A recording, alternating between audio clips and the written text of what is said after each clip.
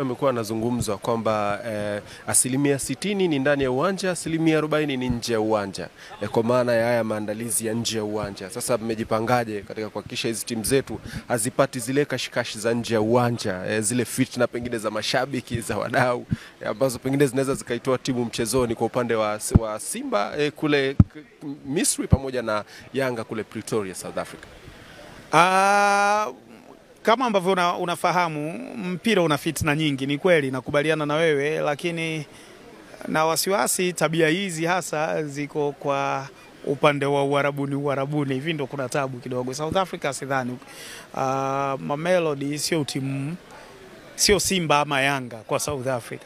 Kwa hivyo sitegemei kwamba tutapata kashikashi pale, lakini nachoweza kusema ni kwamba uh, balozi zetu zilizoko katika nchi zote mbili hizo zinafanya kazi kwa karibu kabisa uh, na timu zetu hizi kuhakikisha kwamba hakuna mkwamo wowote. Serikali iko uh, jicho liko macho ma, masikio yako wazi kuhakikisha kwamba hakuna linaloharibika kwenye kuendea michezo hii miwili ya marudiano.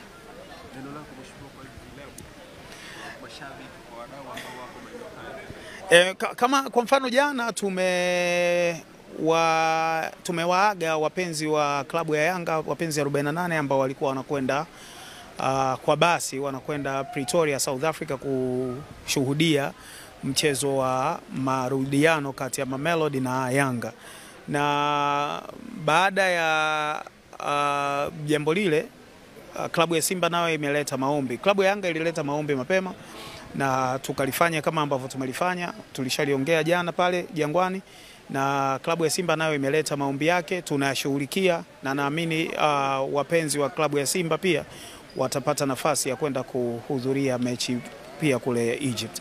Kwa hivyo uh, ni jambo tu la uh, kiutaratibu kwamba serikali inatakiwa kupewa taarifa, klabu inahitaji nini, tuone kama tuko ndani, iko ndani ya uwezo wetu kwa wakati huo na tunayafanya.